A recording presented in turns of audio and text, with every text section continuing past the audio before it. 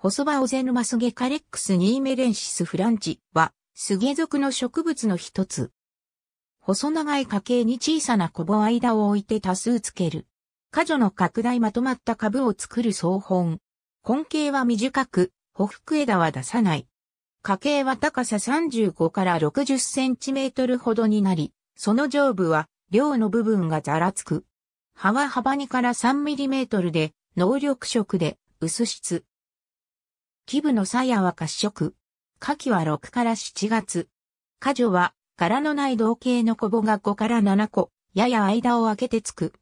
小母の基部にあるツとは、下方のものでは、針状の葉心があるが、普通は、鱗片状となっている。小母は、長さ0.5から0.8センチメートル。私有性、つまり、先端側に、目花、基部側に尾花をつけ、尾花部、目花部ともに、少数の花のみを含むが、いただきこぼでは、尾花部が、やや長い。尾花鱗片は、先端が鋭く尖る。目花鱗片は、下方とほぼ同じ長さで、泡褐色で先が鋭く尖る。下方は、卵形で、長さ 3mm、幅1.7から 1.9mm、先端は短いくちばし状に尖り、その円には細かな虚子があり、先端の口はわずかに二つに切れ込む。厚い膜質で、毛はなく、反紋が出ることがある。痩せ花は、下方に密に包まれており、卵形で、長さは1.6から 1.8mm、中東は二つに分かれる。和名は、細葉オゼヌマスゲである。これは、オゼヌマに産する本種が口舌の広葉オゼヌマスゲと混同されていたものが区別されて、より葉が細いことからこの名になったものである。日本では北海道と本州中部以北に産し、国外では千島列島とサハリンに分布する。本州での分布はごく限られており、勝山では青森県以外は小瀬ヶ原、霧ヶ峰、上高地などという風にピンポイントに生育地が挙げられている状態である。北海道ではもう少し生育地は広く点在しているようである。湿地に生えるものであるが、勝山は低層湿原とその周辺としており、星の他は冷淡湿地や湿原としている。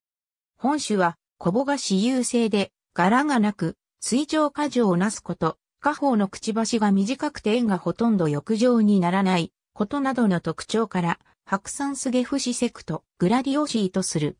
日本にはこの節に属する種は9種ほどがあり、その中で本種は補腹形を出さず、目花鱗片が褐色を帯び、小母が花茎の上に間を置いて生じる点で、ほぼ出しと区別できる。これらの特徴を共有するのが、ヒロハノーゼヌマスゲシートレージスカーナで、本種は当初この種と混同されていたくらいで全体によく似ている。